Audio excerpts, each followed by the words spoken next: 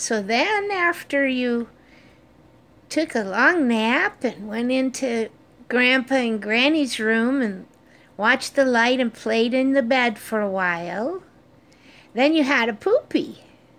Granny cleaned up the poopy.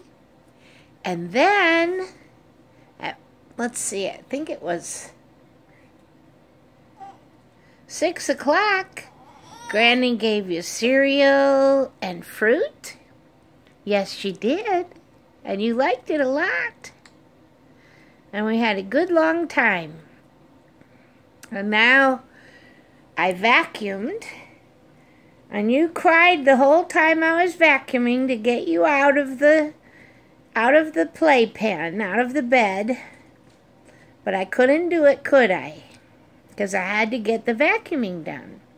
So that now you can play on the floor, the nice clean floor. Yeah, and Grandpa's on his way home. He's got supper for us. And he's going to be able to see you.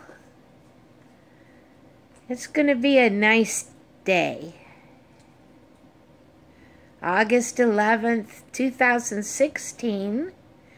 And Jack Gallagher, Tom's son Jack, it's his birthday today. Yes, it is. What? What you seeing? What is that? Yeah, you like that. Out of all the toys, you like the bottle, don't you?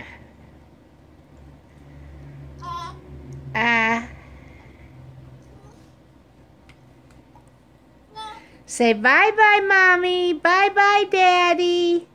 Bye-bye.